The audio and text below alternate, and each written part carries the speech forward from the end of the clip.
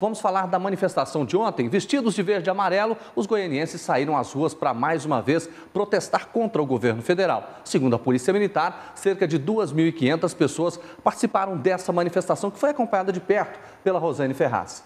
A concentração foi na Praça Tamandaré. Muitos pais levaram os filhos. Uma oportunidade para defender uma política diferenciada.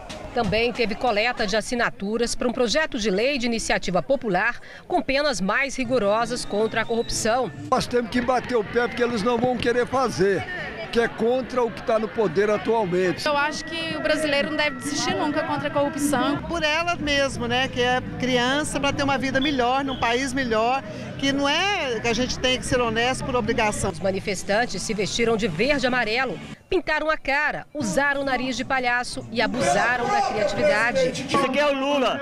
De tanto tempo que ele vem prometendo, ele é o casca grossa. Sabe de tudo. A Dilma, desde o Éden, ela já vem fazendo, prometendo coisas que não pode cumprir.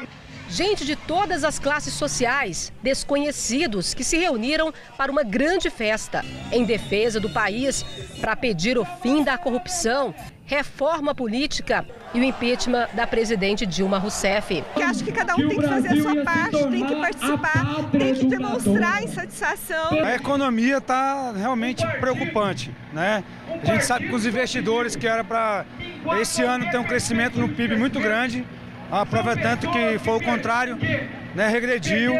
E a preocupação é geral. Os manifestantes subiram a Avenida 85.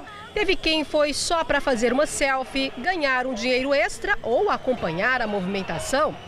O protesto parou em frente à sede da Polícia Federal. No alto dos prédios, o apoio aos manifestantes. A Polícia Militar estima que 2.500 pessoas participaram. A manifestação de março foram cerca de 60 mil. Para Dilma!